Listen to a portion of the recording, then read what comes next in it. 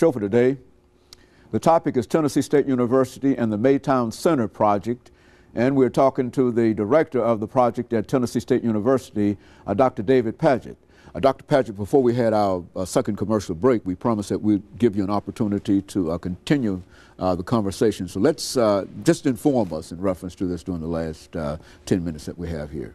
Okay, well, in late last year, late last 2008, the May family and their developer um, came to me uh, and asked that there be a research component as part of this project, uh, and they wanted to involve students.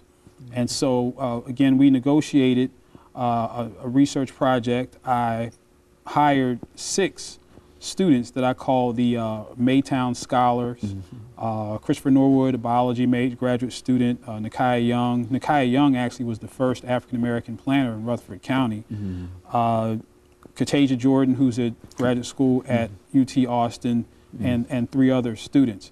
Uh, and so their mission was to take the data that we collected uh, from a variety of of sources, including spatial information using geographic information systems, to look at the area, map the area, and look at the communities that will be impacted by Maytown Center. Mm -hmm. uh, and so after we analyzed these communities, we, we came up with three primary, what we call stakeholder groups. Mm -hmm. uh, the first are African American, or well, alumni of Tennessee State University, mm -hmm. who are almost overwhelmingly black, of course. Mm-hmm. Uh, the second stakeholder group are people who live in and around the mm-hmm. community who might be considered to be green or mm-hmm. African Americans who have a environmentalist mm-hmm. uh, perspective.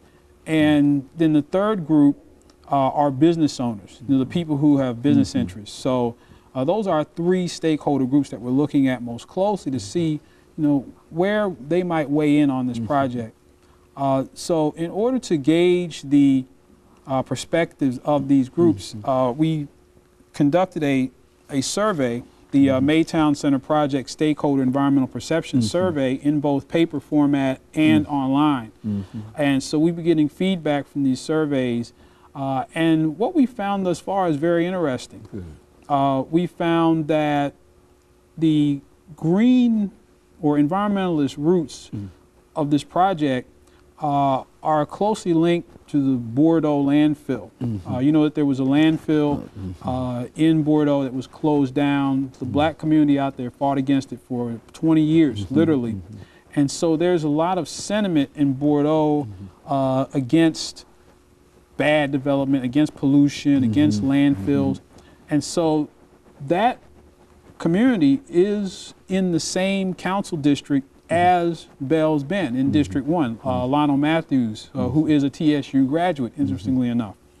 Uh, and so we've had some, some people from that cohort who are also TSU graduates. So some of these stakeholder groups cross over oh, who are surprisingly against the project uh, because of its negative environmental impacts. Mm-hmm.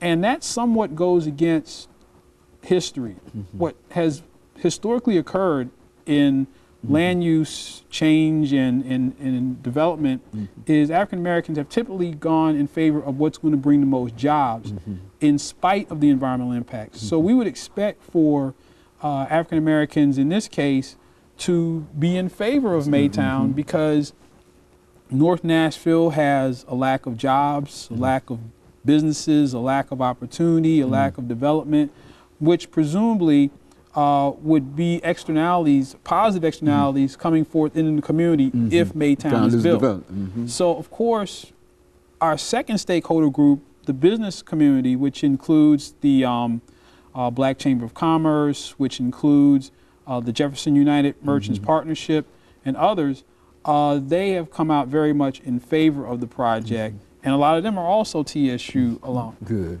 Uh, and now, interesting enough, now we have the TSU alumni who have neither environmental interests mm-hmm. uh, nor do they have business interests, but how are they swayed one way or the other for mm-hmm. or against this project uh, based upon their relationship with Tennessee State University? Mm-hmm. And again, we found some very interesting re- preliminary results. We mm-hmm. found that some uh, African American alumni of TSU are very much in favor of the project, obviously because the donation of land uh, as part of this um, initiative would be the single greatest value donation in the nearly 100 year history of the university. And